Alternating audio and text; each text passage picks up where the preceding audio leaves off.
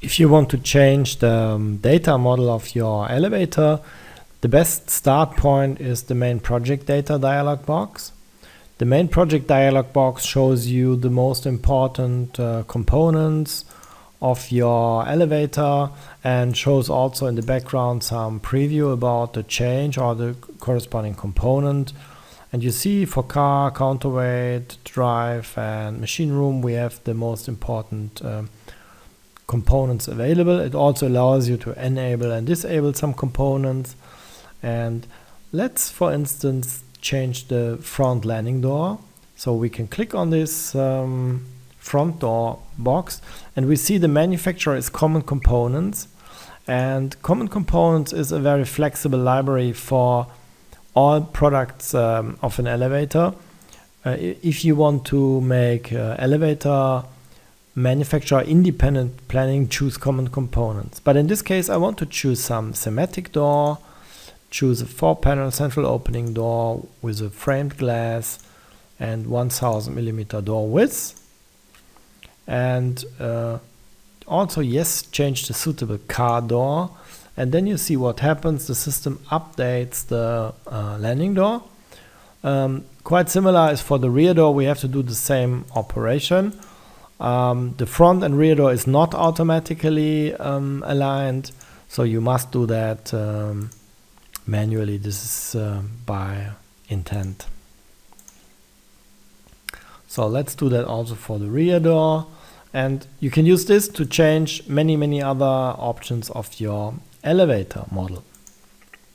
Once we have that, I like to show this uh, section. We see we have some uh, interference here between the doors and the shaft.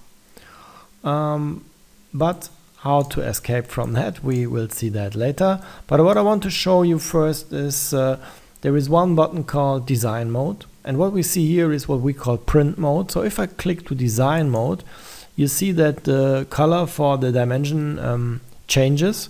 The reason is that you can distinguish between gray dimensions. Gray dimensions are resulting dimensions and blue dimensions. Blue dimensions can be changed. So if I zoom here a little bit, you see that the car depth, for instance, can be changed. So I can double click that and change this to, let's say, um, 1600. And you see that the drawing gets um, immediately updated.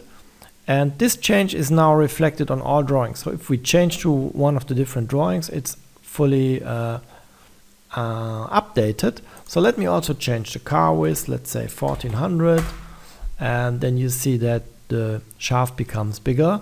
This is a very typical question is how to change the car size and how to change the shaft size for uh, um, for example. So and you see that the shaft width is a gray dimension so you cannot select and enter 2000 but you can one click one time click on this dimension and then you see on the right side in the property grid how this shaft width is calculated. In this in this particular case it's the distance from the wall to the counterweight the counterweight thickness the distance from the counterweight to the car the car wall thickness the car size car wall thickness on the right side and then the distance the clearance to the right wall.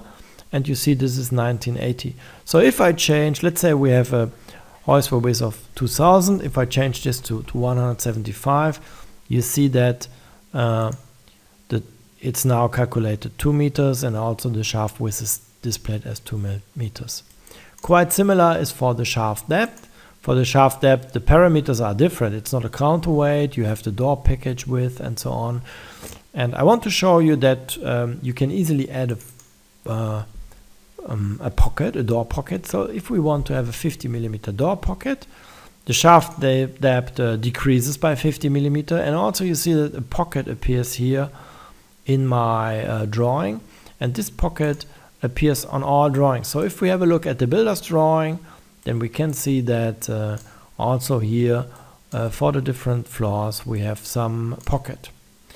In the builder's drawing, you can also change any other dimension. So if we go to design mode, it's also possible, let's say, for instance, to change the distance between a floor.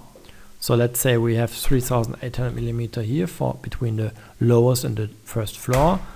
Then we can um, change that. This will also internally update the travel, the shaft height and so on.